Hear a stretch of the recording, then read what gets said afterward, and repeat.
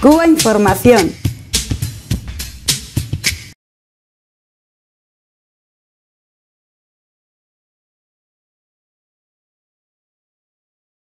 Bueno, vamos a continuar con el programa. Andamos eh, justito de tiempo, en este caso, hablando de que en un reciente estudio de la UNESCO sobre inversión en educación, pues los datos que se han dado sobre Cuba son muy favorables y realmente son cosas que o lo decimos aquí o no se entera nadie. Así que vamos a hablar.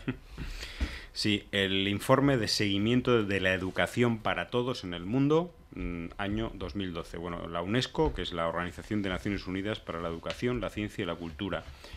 Eh, una, una, vez más se refrenda el grandísimo trabajo que hace Cuba en materia de, de educación. En este informe, en, esta lista de países, se sitúa a Cuba en el lugar 16 del mundo. Estamos hablando de, de bueno, todos los países del mundo, donde Cuba indudablemente es uno de los países menos favorecidos económicamente posiblemente, pero a pesar de todo hace una enorme inversión eh, en educación pública.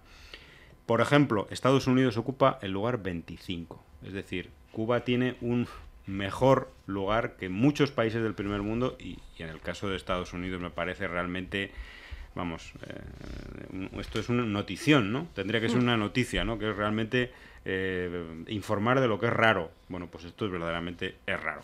Y los medios indudablemente no, no dicen nada. Cuba destina el 9,3% del Producto Nacional Bruto.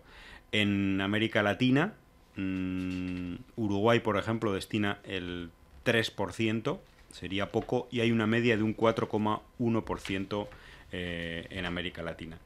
En el siguiente país en, en, esta lista de América Latina ocupa no ya el 16 de Cuba, sino el 40. Es el caso de Aruba y Argentina, el número 43, que serían los países más destacados. Y bueno, pues como tú dices, si no lo decimos nosotros, pues realmente no lo dice nadie. Eh... Bueno, eh, vas a... No, no, no.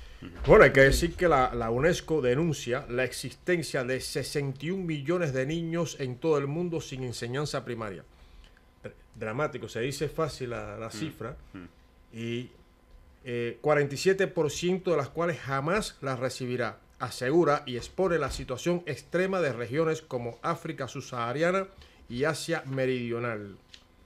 Y bueno, habla también la UNESCO de que la pobreza es la principal causa de la pauperización de la enseñanza en todo el orbe. Y en este sentido señala el incumplimiento de, de, compromisos de financiamiento asumido por los países más desarrollados del mundo durante la cumbre del G8 en 2005 en Escocia, Reino Unido. Bueno, aquí lo que vemos es cómo las, las grandes potencias y los que roban los recursos naturales y humanos de los países del llamado tercer mundo, pues engañan a la opinión pública, engañan a esos propios países que son esquilmados y siguen siendo explotados. Porque no cumplen los compromisos, igual que los, los objetivos del milenio, pues no cumplen. O sea, los países más ricos y los que tienen el deber moral y yo diría obligación moral de dar un aporte y dar una batalla para corregir eh, esta, estos males, esta lacra, pues, pues no lo hace. O sea, 61 millones de niños en todo el mundo. Y posiblemente muchos de esos niños en países que tienen el certificado de democrático dado por las potencias occidentales encabezadas por Estados Unidos. Por cierto, ninguno es cubano. Y hoy ninguno es venezolano.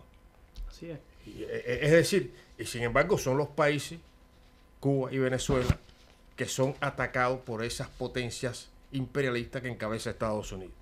Es decir, que aquí está la, la sin y la, y la hipocresía de esto. Hay que, hay que, bueno, aquí señala el dato que siguen a Cuba en la región Aruba en el puesto 40, Argentina en el 43. En tanto, Venezuela y Bolivia, países que reciben colaboración cubana en el sector educacional, se ubican en los puestos 58 y 74 respectivamente.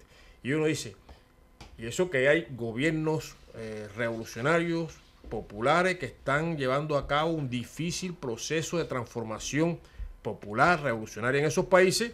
Y uno, ¿qué sería antes? ¿Cómo sería antes la situación? Que no aparece. Pero bueno, esto no le importa. Estos derechos humanos que lo son, no importa a los grandes medios, ni a los oligopolios mediáticos, ni a los, ni a los países imperialistas que encabeza Estados